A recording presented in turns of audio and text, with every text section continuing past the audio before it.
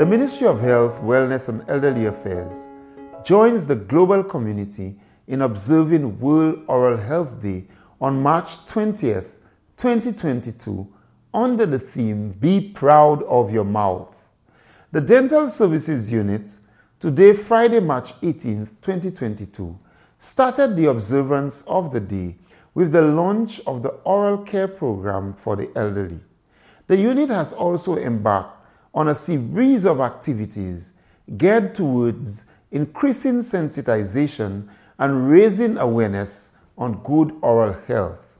We want you to have a healthy mouth and be proud of it as we know that good oral hygiene can improve your overall health outcomes, quality of life, and quality of livelihoods.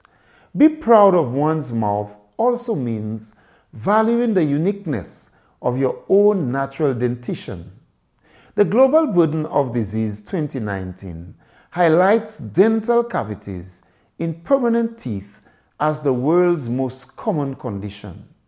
The prevalence of dental cavities is highly impacted by the increased consumption of sugars. Sugar is the main cause of the breakdown of tooth enamel, thus making it the main risk factor of tooth decay. Most oral health diseases are easily preventable and treated inexpensively with early detection.